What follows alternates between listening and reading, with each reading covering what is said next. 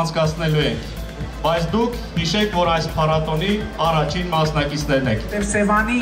զարգացման բավականին հետաքրքիր եւ լուրջ նախագծեր կան եւ այստեղ մենք պետք է այդ ամենը զարգացնենք այնպես, որ ոչ թե հակադրություն առաջանա բիզնեսի եւ կառավարության միջև, այլ մենք դա կարողանանք անել համագործակցության ոգով։